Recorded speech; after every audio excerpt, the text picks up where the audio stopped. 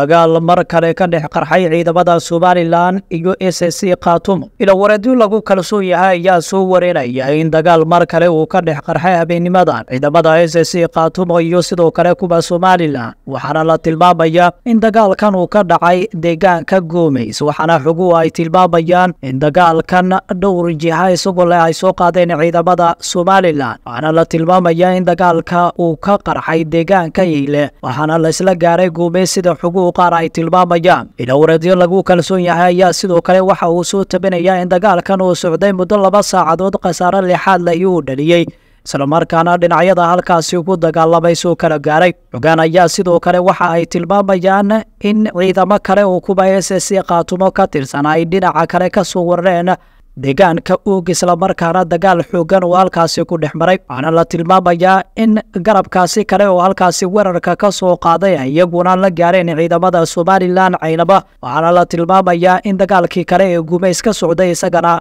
uu markaasi sii xoogeystay halka dagaalka uu laba weji yeeshay. Dhaqdhaqaaqyada ayaa sii xoogeysanaya waxaana la sheegayaa in dagaalka uu ku sii fidayo qeybo badan oo ka mid ah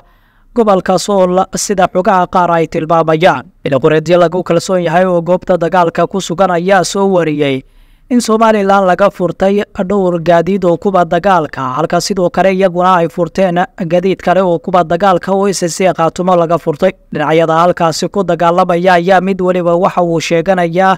in markaasi isaga guul lixaad la uu gaaray halka sidoo kale ilawareedyo aanu helayno ay tilmaamayaan in dagaalkaasi mar kale somalilan lagu jibiyey kadib weerar lixaad lahi oo ay markaasi soo qaadeen. Dagaalkan oogiyo agagaarkeeda ka soconaya ayaa noqonaya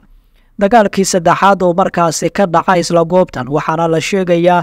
in markaasi laayo hadda aan lagu kala adkaan dagaalka halkaasi ka soconaya waxaana maangala inuu ku sii fado qaybo badan oo ka mid a gobolka sool waxaase la tilmaamayaa in markan ay doonayaan ciidamada s c khaatumo inay isugu tagaan deegaanka. Oog islamarkaana weerarkama dambeys ay ay halkaasi ka qaadaan islamarkaana ciidamada somalilan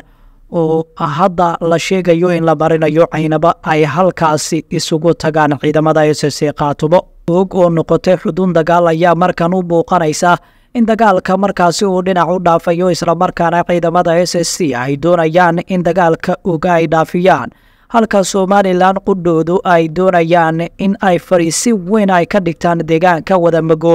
si ay duulaan xoogeystay markaasi ay halkaasi uga soo qaadaan islamarkaana deegaanada markaasi laga qabsaday ay dib ugu qabsadaan dhaqdhaqaaqyadan xoogan ee ka soconaya gobolka sool iyo sidoo kale. Deegaanada kale ee markaasi lagu dagaalamayo ayaa la tilmaamayaa in ay xoogeysan karaan islamarkaana maangal uu noqon kara in dagaal kale uu halkaasi ka qarxo. Ciidamada halkaasi ku dagaalamaya ayaa la soo warinayaa in khasaare lixaad lahi uu ka dhashay. Dhimashada iyo dhaawaca ayaana la tilmaamaya inuu tirabeel yahay halka sidoo kale labada dhinacba ay kala jiiteen dhaawacyo aada u xoogan loona kala qaaday cisbitaalada magaalada berbera iyo sidoo kale kan magaalada laascarood ilaa wareedyo goobta ku sugan ayaa sidoo kale waxa ay soo warinayaan in madaxweynaha somalilan uu sheegay in ciidamadu aysan ku soo laaban karin og islamarkaana ay halkaasi sii dhaafaan. Halka la sheegayo in og laftigeeda laga qabsaday islamarkaana aynaba la sii marsiinayo. Ilaha xogogaalka ee goobtaasi ku sugan ayaa sidaasi soo warinaya lama sooga dhaqdhaqaaqyada xooggan iyo dagaalka halkaasi ka soconaya halka uu saldhigan doono